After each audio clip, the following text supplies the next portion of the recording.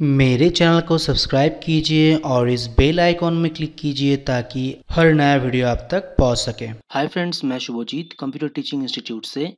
Friends इस video से हम लोग माइक्रोसॉफ्ट ऑफ़िस एक्सेल 2010 वर्जन का ट्यूटोरियल को शुरू करने वाले हैं। आज हम लोग एक्सेल का कुछ बेसिक पार्ट के ऊपर पहले डिस्कस करेंगे, उसके बाद नेक्स्ट वीडियो से हम लोग लेसन वन टू थ्री इस तरह से जो भी लेसन है, उसको कंप्लीट करते जाएँगे। तो फ्रेंड्स शुरू करते हैं आज का एक्सेल ट्यूटोरियल तो पहले क्वेश्चन में जाते हैं। देखिए friends M S office Excel 2010 का यहाँ पे जो भी टेक्स्ट लिखा हुआ ये आप लोग थोड़ा सा देख लीजिएगा वीडियो को पॉज करके। तो हम पहले यहाँ से स्टार्ट करते हैं how to open Microsoft Excel 2010 कैसे हम लोग माइक्रोसॉफ्ट ऑफ़िस एक्सेल को ओपन कर सकते हैं? तो माइक्रोसॉफ्ट ऑफ़िस एक्सेल को ओपन करना बहुत ही ईजी है। आप लोग सर्च बार में जाके बस एक्सेल लिखिएगा तो आपका कंप्यूटर में जो भी एक्सेल का वर्जन है, वो ओपन हो जाएगा। या तो आप स्टार्ट बटन से प्रोग्राम में जाके भी माइक्रोसॉफ्ट ऑफ़िस से माइक्रोसॉफ्ट ऑफ़िस एक्सेल को ओपन कर सकते हैं। नेक्स्ट क्वेश्चन में यहाँ पे दिया है how to apply copy and paste any text in Excel कैसे हम लोग एक्सेल में कॉपी पेस्ट कर सकते हैं? तो एक्सेल में कॉपी पेस्ट को करने से पहले कुछ बेसिक चीज़ों को यहाँ पे जान लेते हैं। देखिए, मैंने फ्रेंड्स यहाँ पे एक्सेल ओपन कर लिया है। एक्सेल में बहुत सारा रो और कॉलम मतलब ये सब होता है कॉलम और हॉराइजॉन्टल जो लाइन होता है उसको हम लोग रो कहते हैं और वर्टिकल को कॉलम कहते हैं। एक्सेल का नाम एक्सेल ये क्यों नाम पड़ा है वो पहले जान लेते हैं। एक्सेल का नाम एक्सेल इसलिए पड़ा है क्योंकि एक्सेल को बनाया गया है सेल के मदद से। देखिए, ये जो कॉलम है कॉलम के ऊपर से जब भी एक रो गुजर रहा है तो बहुत सारा सेल्स बन रहा है। अगर मानिए कि यहाँ पे एक कॉलम हम लोग ड्रैग किया और उसके ऊपर से और एक रो हम लोग ड्रैग करेंगे तो एक यहाँ पे सेल बन जाएगा। इसी तरह से हर एक कॉलम के ऊपर से बहुत सारा रो यहाँ से पास करवाया गया है और छोटा छोटा सेल बन गया है। इस सेल के ऊपर ही एक्सेल का सारा काम होता है, इसलिए एक्सेल का नाम एक्सेल पड़ा है, ठीक है? मतलब सेल से ही एक्सेल का नाम एक्सेल हुआ है। टैब है आप लोगों को दिख रहा है, home insert page layout formula, data review, view, developer और भी कई सारा टैब बाद में काम करते हुए आएगा, वो हम लोग बाद में जानेंगे। तो देखिए फ्रेंड्स यहाँ पे एक बॉक्स है, जिसका नाम है नेम बॉक्स इस बॉक्स का नाम नेम बॉक्स क्यों रखा गया है? हम लोग का एक्सेल में जो भी सेल्स होता है, वो सारा सेल्स का अपना एक यूनिक आईडी मतलब यूनिक एक नाम होता है। वो नाम कैसे बनता है? देखिए, हर एक कॉलम को यहाँ पे A B C D E जी इस तरह से इंडिकेट किया गया है और हर एक रो को यहाँ पे वन टू थ्री फोर करके इंडिकेट किया गया है। तो यहाँ पे जो भी कॉलम्स आप लोग को दिख रहा है एस तक ये एक्चुअली एस तक नहीं है ये बहुत दूर तक गया है जो कि एक्स एफ़ डी तक है। एक्स एफ़ डी जिसको अगर हम लोग गिनने जाएँगे तो sixteen thousand three hundred eighty four columns यहाँ पे होगा। और रो जो आप लोग को दिख रहा है यहाँ पे ट्वेंटी फोर या ट्वेंटी फाइव तक दिख, दिख रहा है ये भी नीचे बहुत सारा है। ये नीचे दस लाख अड़तालीस हज़ार पाँच सौ छिहत्तर मतलब ten lakhs forty eight thousand five hundred seventy six rows यहाँ पे है। अब अगर ये दोनों नंबर को आप लोग गुना करेंगे तो उसमें जाके आप लोग को ये पता चलेगा कि, कि यहाँ पे सेल्स कितना है। तो आप लोग को मैं दिखा देता हूँ। मैं कैलकुलेटर को ओपन कर लेता हूँ। कैलकुलेटर को ओपन करके आप लोग को दिखाता हूँ। देखिए यहाँ पे कॉलम हम लोग का कितना है? Sixteen thousand three hundred eighty four multiply ten lakh forty eight thousand five hundred seventy six तो यहाँ पे आप लोगों को दिख रहा होगा। तो देखिए इतना कॉलो इतना सारा सेल्स यहाँ पे है। एक्सेल का एक शीट में मतलब एक पेज में हम लोग को इतना सारा सेल्स मिलेगा। मतलब ये काफ़ी है हम लोग को कोई भी टेबल बनाने के लिए, कोई भी काम करने के लिए काफ़ी सेल्स है। मतलब बहुत सारा सेल्स यहाँ पे है। अब ये बहुत सारा सेल्स जो है, वो अलग अलग सेल का अलग अलग एक यूनिक नंबर यूनिक आईडी है। कोई भी एक सेल से दूसरे एक सेल में जाने के लिए हम लोग को नेम बॉक्स का ज़रूरत होता है। जैसे कि ये एकदम फ़र्स्ट में जो कर्सर अभी मेरा है कर्सर मतलब यहाँ पे एक्सेल का देखिए, ये ब्लैक कलर का जो पॉइंटर है, इसी को समझाया जा रहा है। तो ये एकदम फ़र्स्ट में है मतलब ये ए वन सेल है। एक का कॉलम है वन का रो है। मतलब ये जो कॉलम ये जो सेल है ये ए वन है। इस सेल का नाम है ए वन अभी मानिए कि मुझे अगर जाना होगा लास्ट सेल में या कोई भी सेल में तो उस सेल का नंबर अगर मैं इस नेम बॉक्स में लिख के एंटर दूँगा तो वो आ, सेल में मेरा ये कर्सर पहुँच जाएगा। देखिए मानिए कि मुझे यहाँ पे जाना है ये है एम और ये है नाइनटीन मतलब एम नाइनटीन का घर में जाना तो यहाँ पे क्लिक करके अगर हम लोग लिख देंगे एम नाइनटीन और एंटर देंगे तो देखिए मेरा कर्सर यहाँ पे आ गया है, ठीक है? इसीलिए इसका नाम दिया गया है नेम बॉक्स आप कोई भी सेल से, कोई भी सेल में जाने के लिए या उस सेल से वापस आने के लिए ए नेम बॉक्स का इस्तेमाल कर सकते जैसे कि मैं फिर से ए वन में आ जाता हूँ तो ए वन लिख के एंटर दे दी तो देखिए ए वन में हम लोग आ गए। तो इस तरह से हम लोग एक सेल से दूसरे सेल में नेम बॉक्स के ज़रिए जा सकते हैं। और ये वाला बॉक्स क्या है? फॉर्मूला बॉक्स है। या फॉर्मूला बार है तो इसका काम मैं आप लोगों को बता रहा हूँ। कुछ क्वेश्चन पहले डिस्कस कर लेते हैं। अब देखिए एक्सेल में हम लोग को तीन कर्सर मिलेगा। तीन तरह का कर्सर मिलेगा। एक तो आप लोग को दिख रहा है कि ये मोटा टाइप का जो प्लास है, इससे हम लोग एक्चुअली सिलेक्ट कर सकते हैं। और एक कर्सर आप लोग को दिखेगा, देखिए, ये। अब थोड़ा सा गौर से देखिए, चारों साइड में चार एरो और बीच में मेरा माउस का पॉइंटर ये वाला जो पॉइंटर आप लोग को आएगा जब जब, तब आप समझेंगे कि अभी हम लोग टेक्स्ट को मूव कर सकते हैं।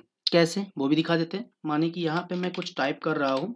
एक्सेल में देखिए टेक्स्ट को सिलेक्ट करना पड़ेगा। सभी सॉफ्टवेयर में होता है। बिना सिलेक्ट किए हम लोग कोई काम तो करते नहीं है। मतलब कर नहीं पाते। तो यहाँ पे एक्सेल में लेकिन इस तरह से सिलेक्शन का कोई प्रोसेस नहीं है। जैसा हम लोग वर्ड में करते आए हैं वर्ड तक, एक्सेल में ऐसा सिलेक्शन नहीं है।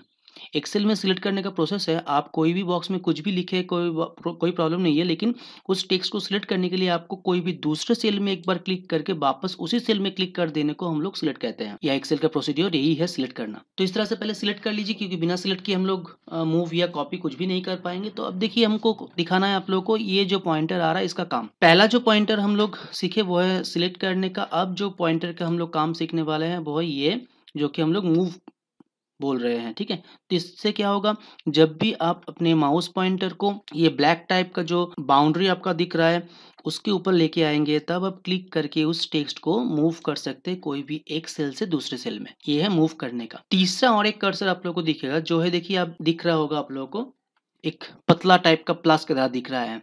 ये ड्रैगिंग कर्सर है, ड्रैग करने के लिए होता है ये। इसको अगर हम लोग इस तरह से ड्रैग कर देंगे तो ये ड्रैग हो जाएगा। मतलब कोई भी सेल में रहा, कोई भी टेक्स्ट को वो कॉपी करके नीचे ला सकते हैं, या कोई भी सेल में अगर कोई फॉर्मूला होगा तो उसको भी वो कॉपी करके ला सकता है। इसका काम हम लोग बाद में, बहुत बार हम लोग को करना पड़ेगा। बाद में हम लोग इसके बारे में और भी डिटेल्स से जान लेंगे। तो हम लोग को अभी जो क्वेश्चन दिया है, वो है कैसे कॉपी पेस्ट करते हैं एक्सेल में। ठीक है, यहाँ पे देखिए दो नंबर क्वेश्चन है। How to apply copy and paste in Excel. तो चलिए, कोई भी एक बॉक्स में या सेल में पहले कुछ टाइप कर देते हैं। तो सपोज़ मानिए यहाँ पे मैं लिख रहा हूँ यूट्यूब ठीक है? अब इसको सिलेक्ट करने का प्रोसेस क्या है? बाहर में क्लिक करके उसी सेल में क्लिक कर देंगे। तो ये सिलेक्ट हो गया। अब इसको मुझे कॉपी करना पड़ेगा। कॉपी करने के लिए हम लोग जानते हैं कीबोर्ड से कंट्रोल प्लस सी, ठीक है? या तो आप लोग यहाँ पे कॉपी का ऑप्शन है, यहाँ पे कॉपी भी कर सकते हैं। कोई प्रॉब्लम नहीं है तो मैं कंट्रोल प्लस सी कीबोर्ड से कर देता हूँ। जब भी आप कॉपी करेंगे तो देखिए चारों साइड में ये बॉर्डर जैसा घूमने लगा है। मतलब आप समझ जाएँगे कि मेरा टेक्स्ट अभी कॉपी हो गया है, जो कि वर्ड तक हम लोग को समझ में नहीं आता था कि कॉपी हुआ है कि नहीं। एक्सेल में समझ में आएगा। इसके बाद जो भी बॉक्स में आपको पेस्ट करना है, इस टेक्स्ट को उस बॉक्स में पहले सिलेक्ट क्लिक कर दीजिए। उसके बाद आप कीबोर्ड से कंट्रोल भी दबाइए, या तो यहाँ पे देखिए पेस्ट का ऑप्शन है, इसमें क्लिक करने से भी हो जाएगा। या आप अगर चाहते हैं कि ये वाला जो टेक्स्ट है, इसको बहुत सारा सेल में एक ही साथ लाना है तो आप बहुत सारा सेल को एक साथ सिलेक्ट कर दीजिए और पेस्ट में क्लिक कर दीजिए, या तो कीबोर्ड से कंट्रोल भी दबा दीजिए। तो एक ही बात है, आपका टेक्स्ट सभी बॉक्स में, जितना सारा बॉक्स को आप सिलेक्ट किए वो सभी बॉक्स में या सभी सेल में आ जाएगा। अब अब इसको हटाएँगे कैसे? ये जो कॉपी हुआ है मतलब कॉपी अभी तक रेडी है, उसको हटाएँगे कैसे? कीबोर्ड से एस्केप की को प्रेस कर दीजिए। एस्केप मतलब एकदम फ़र्स्ट की जो होता है कीबोर्ड का, उसको प्रेस कर दीजिए तो वो हट जाएगा। हो गया? अभी और एक बार अब पेस्ट कर दी, करके देख लीजिए कि पेस्ट का ऑप्शन अभी एक्टिव ही नहीं है, क्योंकि पेस्ट तो नहीं होगा और। कॉपी हम लोग हटा दिए इसलिए। तो इस तरह से हम लोग कॉपी पेस्ट कर सकते हैं, ठीक है? नेक्स्ट क्वेश्चन में क्या देखिए? Type a text in first cell and copy to last cell ये क्वेश्चन बहुत ही इंटरेस्टिंग क्वेश्चन है। कि आप लोगों को कुछ लिखना होगा ए वन सेल में और उस टेक्स्ट को आपको कॉपी करके लेके जाना होगा एकदम लास्ट सेल में, वो कैसे होगा? ठीक है? तो चलिए कुछ लिखते हैं पहले यहाँ पे। सपोज़ मानिए कि एक सेल लिखता हूँ और बाहर में क्लिक करके, इसमें क्लिक करके फिर से सिलेक्ट कर दिए इसको, ठीक है? अब इसको मुझे कॉपी करना है और लेके जाना है एकदम लास्ट सेल में। तो कॉपी करने के लिए हम लोग क्या जाने? कंट्रोल सी अब ये है नेम बॉक्स नेम बॉक्स से हम लोग जाने थे पहले कि एक सेल से हम लोग दूसरे सेल में जा सकते हैं या कर्सर को मूव करवा सकते हैं, ठीक है? तो इसमें पहले क्लिक कर दीजिए और लास्ट सेल का जो नंबर है वो है X F D one zero four eight five seven six. अब ये क्यू हुआ? देखिए, आप लोगों को स्क्रीन में जहाँ तक रो और जहाँ तक कॉलम दिख रहा है, वहाँ तक समझिए पहले। ये है एस का लाइन, आप लोगों को एस तक दिख रहा है, ये है एस का कॉलम। एस का कॉलम में आपको यहाँ तक दिख रहा है। तो मानिए, यहाँ पे ना मैं एक कलर यहाँ पे ऐड कर देता हूँ। देखिए येलो कलर मैंने ऐड कर दिया है। यह है एस का कॉलम और ये है ट्वेंटी फोर वाला रो मतलब इस सेल का नंबर क्या हुआ? ये हुआ एस ट्वेंटी फोर। उसके आगे वाला का आर ट्वेंटी फोर। उसके आगे वाला का क्यू ट्वेंटी फोर। ये उसका आगे वाला का पी ट्वेंटी फोर। उसके ऊपर वाला का ये हो गया आपका एस ट्वेंटी थ्री। तो आपको यहाँ तक लास्ट ये मानिए लास्ट एक्सेल का तो आपको ये नंबर कितना आएगा इसका? ये आएगा एस और ये ट्वेंटी फोर मतलब ये एस ट्वेंटी फोर आएगा। इसी तरह से आप अगर मानिए एकदम लास्ट में चले जाइए ऊपर में आपका लिखा हुआ है एक्स एफ़ डी जो कि लास्ट सेल नंबर है मतलब लास्ट कॉलम है, और नीचे में यहाँ पे ट्वेंटी फोर की जगह में लिखा हुआ है one zero four eight five seven six ये लास्ट है। तो आपका ये नंबर कितना आएगा? वही ना आएगा। जैसे यहाँ पे एस ट्वेंटी फोर आ रहा है मतलब ये जो सेल का नंबर होता है, वो अल्फ़ा न्यूमेरिक होता है, पहले पहले अल्फ़ाबेट्स और उसके बाद न्यूमेरिक तो उस हिसाब से यहाँ पे अगर एक्सेप डी लिखा हुआ है और यहाँ पे अगर one zero four eight five seven six लिखा हुआ है तो इस सेल का नंबर होना चाहिए X F D one zero four eight five seven six ठीक है? तो वही यहाँ पे लिखना होगा क्योंकि ये लास्ट सेल का नंबर है और हम लोग को वहीं पे जाना है। तो इसको पहले कॉपी कर लेते हैं। कॉपी हट गया था क्योंकि हम लोग यहाँ पे काम किए थे। तो यहाँ पे अभी क्लिक करके, बाहर में कोई भी जगह में डबल क्लिक मत कीजिएगा ये कॉपी को करके। अब यहाँ पे हम लोग को लिखना है एक्सेफ डी और one zero four eight five seven six और लिख के आप एंटर दीजिए। अब देखिए हम लोग एकदम लास्ट सेल में आ गया है। ये है लास्ट एक्सेल का। देखिए ऊपर में दिख रहा है ना वो एक्सेप्ट डी और यहाँ पे देखिए one zero four eight five seven six अब यहाँ पे मुझे पेस्ट करना है। तो पेस्ट करने के लिए हम लोग क्या करेंगे? कंट्रोल भी आ गया मेरा एक्सेल का टेक्स्ट तो ये लास्ट सेल करके ये दिखाया गया है इस क्वेश्चन में कि हम लोग कोई भी सेल से कोई भी दूसरे सेल में कॉपी पेस्ट कैसे कर सकते हैं और लास्ट सेल को या तो कोई भी सेल को हम लोग कैसे देख भी सकते हैं और मूव भी कर सकते हैं उसमें। तो चलिए मैं पहले फिर से ए वन में चला जाता हूँ तो ए वन लिख के यहाँ पे मैं एंटर देता हूँ। तो मैं फिर से देखिए फ़र्स्ट सेल में आ गया हूँ, ठीक है? अब ये कॉपी को हटाने के लिए स्केप दूँगा। इसके बाद next question fill Sunday to Saturday and January to December by drag process in Excel कैसे हम लोग एक्सेल में संडे, मंडे, ट्यूसडे, वेडनेसडे ये सबको और जनवरी फरवरी को भी ड्रैग प्रोसेस के ज़रिए फील कर सकते हैं। तो देखिए, एक्सेल में बहुत ही एक इंटरेस्टिंग चीज़ है यहाँ पे, जैसे कि मैं यहाँ पे अगर लिखूँगा जनवरी और इसको मैं ड्रैग कर दूँगा। ड्रैग करने के लिए कौन सा कार्ड सर ये यहाँ पे है। ठीक है, थोड़ा सा ध्यान से देखिएगा। जो बॉक्स आपका है मतलब बाउंड्री जो आपका है, उसमें जब आप एकदम लास्ट में उसमें कर्सर लेके जाएँगे तो वो प्लास की तरह हो जाएगा। उसी से हम लोग ड्रैग कर पाएँगे। अगर प्लास की तरह नहीं होगा नहीं होगा तो काम नहीं होगा, ठीक है? अभी देखिए, मैं जनवरी यहाँ पे लिखा हूँ और यहाँ पे ड्रैग कर रहा हूँ तो जनवरी से जहाँ तक मैंने ड्रैग किया है, वहाँ तक टोटली सारा मंथ आ गया है रोटेशन वाइज मतलब दिसंबर के बाद फिर से जनवरी स्टार्ट हो गया है। और उसी तरह से मैं अगर यहाँ पे सॉरी संडे मंडे का भी एक बार लिखा, लिख के आप लोग को दिखा देते हैं। संडे लिखे हैं और इसको सिलेक्ट करके इसको भी अगर मैं ड्रैग कर देता हूँ, ये भी रोटेशन वाइज मतलब सैटरडे के बाद फिर से संडे मंडे करके आता रहेगा जहाँ तक आप ड्रैग करेंगे। लेकिन यहाँ पे बहुत जन सोचते सोचते हैं कि वन टू से ये वन टू भी इस तरह से हो जाएगा, लेकिन नहीं, देखिए वन मैंने ड्रैग किया है यहाँ पे, लेकिन वन यहाँ पे नहीं हुआ है। क्यों नहीं हुआ है? यहाँ पे ये कारण जानना पड़ेगा क्यों नहीं हो रहा है? क्योंकि ये सब का क्या है? जनवरी के बाद फरवरी ही होने वाला है, संडे के बाद मंडे ही होने वाला है, वन, लेकिन वन के बाद हमेशा ही वन ही होगा, ऐसा नहीं भी हो सकता है, क्योंकि हम लोग का, हम लोग जानते हैं कि नंबर दो तरह का होता है, एक इवन नंबर होता है, दूसरा ऑड नंबर होता है। अब वन तो एक ऑड नंबर है तो यहाँ पे कंप्यूटर ये सब नहीं समझ पा रहा है कि इसके बाद क्या सारा इवन, ऑड नंबर से लाना है कि कंटिन्यू नंबर लाना है कि इसके बाद क्या नंबर लाना है, वो उसको समझ में नहीं आ रहा है, क्योंकि नंबर में हम लोग स्टेप जाम्स भी कर सकते हैं। लेकिन ये सब में तो स्टेप जाम नहीं होगा, जनवरी के बाद हमेशा फरवरी भी आए, फरवरी ही आएगा, दूसरा कोई मंथ नहीं आएगा, ठीक है? तो अगर हम लोग को चाहिए कि वन के बाद टू थ्री फोर करके ही आए ड्रैग करने से तो वो कैसे होगा? वो दिखा देते हैं आप लोग को। उसका दो प्रोसेस है। एक प्रोसेस है, पहले आप वन लिखिए और नीचे वाला सेल में टू लिखिए। अब दोनों को एक साथ सिलेक्ट कीजिए। दोनों को एक साथ सिलेक्ट मतलब हम लोग अभी तक एक बॉक्स को सिलेक्ट कर रहे थे, अब हमको दो सिलेक्ट करना पड़ेगा एक साथ और जो यहाँ पे ड्रैग का पॉइंटर आया, आप इसको ड्रैग कर दीजिए तो देखिए हो गया। और एक प्रोसेस देखिए। यहाँ पे मैं अगर वन ही लिखता हूँ तो ठीक है कि हम वन टू करके नहीं लिखेंगे। वन लिख के ही लाना चाहते तो वन लिख के आप ड्रैग कीजिए। और नीचे में देखिए, यहाँ पे एक छोटा सा ऑप्शन दिखेगा, जिसका नाम है ऑटो फिल ऑप्शन ठीक है? इसमें क्लिक करने के बाद देखिए, यहाँ पे फिल सीरीज़ आ गया है। फिल सीरीज़ में क्लिक कर दीजिए। तो यहाँ पे देखिए हो गया है ठीक है? तो इस तरह से भी हम लोग वन टू थ्री फोर को फील कर सकते हैं संडे मंडे को फील कर सकते हैं जनवरी फरवरी को फील कर सकते हैं लेकिन यहाँ पे ये नहीं होगा कि आप अपना नाम लिखेंगे और ड्रैग कर देंगे तो उसके बाद आप, आपका फ्रेंड्स का नाम सारा आ जाएगा नहीं होगा ये बनाना पड़ेगा। तो कैसे बनाते हैं वो भी दिखा देते हैं। देखिए नेक्स्ट क्वेश्चन में होगा शायद ये। How to create your own custom list, कैसे हम लोग ये कस्टम लिस्ट को बना सकते हैं, ठीक है? कस्टम लिस्ट बनाने के लिए, कस्टम लिस्ट एक्चुअली है क्या? कस्टम लिस्ट मतलब यहाँ पे देखिए, जैसे कि जनवरी के बाद फरवरी, मार्च ये सब ऑटोमेटिकली आ गया, या संडे के बाद मंडे ट्यूजडे ऑटोमेटिकली आ गया। इसी तरह से हम लोग भी अगर चाहते हैं कि कहीं पे आप काम करते हैं और यहाँ पे बहुत सारा आइटम का नाम हम आपको बार बार लिखना पड़ता है तो आप एक काम कीजिए, उस आइटम सभी आइटम में जो भी नाम है, वो सारा नाम को आप पहले एडिट कस्टम लिस्ट में जाके उसमें ऐड कर दीजिए। और जब भी आपको एक्सेल में वो सारा आइटम का नाम ज़रूरत होगा तो आप एक ही आइटम को लिखे और ड्रैग कर दीजिए तो सारा आइटम का नाम ऑटोमेटिकली आ जाएगा। तो कैसे होगा, दिखाते हैं। पहले आप फ़ाइल में जाइए फ़ाइल से ऑप्शन में जाइए। ऑप्शन से यहाँ पे देखिए एडवांस नाम का एक ऑप्शन आपको मिलेगा, ठीक है? यहाँ से आप एकदम नीचे आ जाइए, देखिए यहाँ पे आपको मिलेगा एडिट कस्टम लिस्ट इसमें देखिए, जनवरी, फरवरी ये सब पहले से फिलअप किया हुआ है, इसीलिए यहाँ पे आ रहा था। अब मुझे आइटम का नाम ऐड करना तो ऐड में क्लिक कर देंगे और कुछ आइटम का नाम यहाँ पे टाइप करना पड़ेगा। किस तरह से टाइप करना होगा? सपोज़ मानिए कि आप बिस्किट लिख रहे लिख रहे हैं, लिखिए, लेकिन उसके बाद कॉमा दीजिए, फिर एक स्पेस दीजिए। कॉमा देने के बाद एक स्पेस देके फिर आप दूसरा टाइप कीजिए। नहीं तो नहीं होगा लेकिन, ठीक है? अब देखिए, मैं यहाँ पे चॉकलेट्स टाइप कर देता हूँ। तो देखिए, यहाँ पे कुछ आइटम का नाम मैंने टाइप कर लिया है। अब मुझे ओके करना होगा, ठीक है? ओके करने के बाद फिर से ओके देखिए, आप लोगों को ओके दिख रहा होगा। यहाँ पे है ओके ओके में क्लिक कर दीजिए।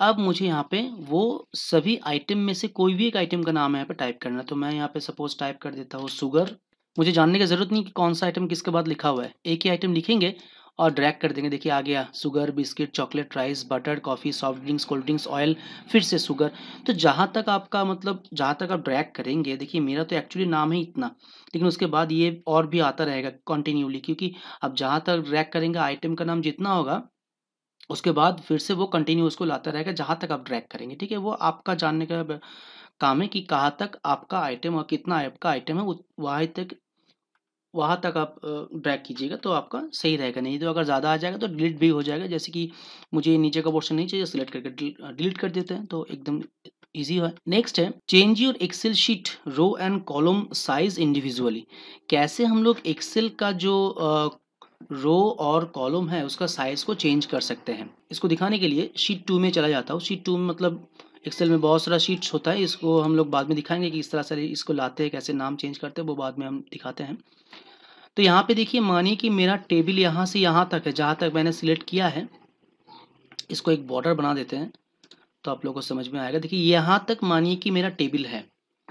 अब यहाँ तक जो टेबल मेरा है, इस टेबल में जो भी कॉलम और जो भी रोज़ है, वो सभी रोज़ और कॉलम का मुझे साइज़ बढ़ाना है, ठीक है? अब देखिए, रो जो होता है, रो मतलब ये हॉरिजॉन्टल लाइन जो होता है, वो एक्चुअली किसमें बढ़ेगा? वो वीक में बढ़ेगा। मतलब ऊपर और नीचे में उसका साइज़ बढ़ेगा और ये कॉलम जो है, वो दोनों साइड में बढ़ेगा। तो इसी तरह से मैं, मुझे यहाँ पे कहा गया है कि कॉलम और रो का साइज़ को बढ़ा के दिखाओ। तो क्या करना पड़ेगा? मुझे सिलेक्ट करना पड़ेगा, ठीक है?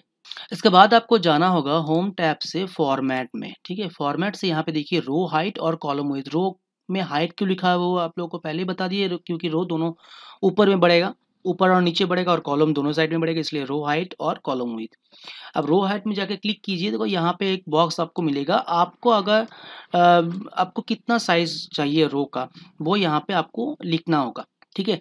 तो यहाँ पे मैं सपोज़ लिख देता हूँ सपोज़ फिफ्टीन और ओके कर देता हूँ। सॉरी, ये रो का हाइट 15 ही पहले से होता है तो इसमें थोड़ा सा और बढ़ाना होगा तो 25 लिख देता हूँ, और ओके। अब देखिए, सभी रोज़ का आप लोगों को दिख रहा होगा, देखिए बाहर में क्लिक करके दिखाते हैं, ये देखिए सभी रोज़ का जो लाइन है विथ है, वो बढ़ गया है।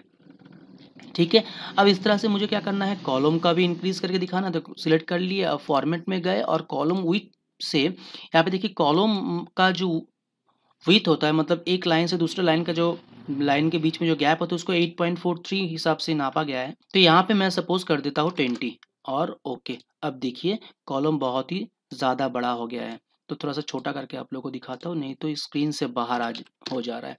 फिफ्टीन कर देता हूँ, फिर भी स्क्रीन से बाहर। तो ठीक है, समझ लीजिए, ये देखिए। अब यहाँ पे क्या फ़ायदा क्या हुआ हम लोगों को कि सभी कॉलम और सभी रोज का साइज़ एक ही जैसा है? ये इसमें सुविधा हुआ।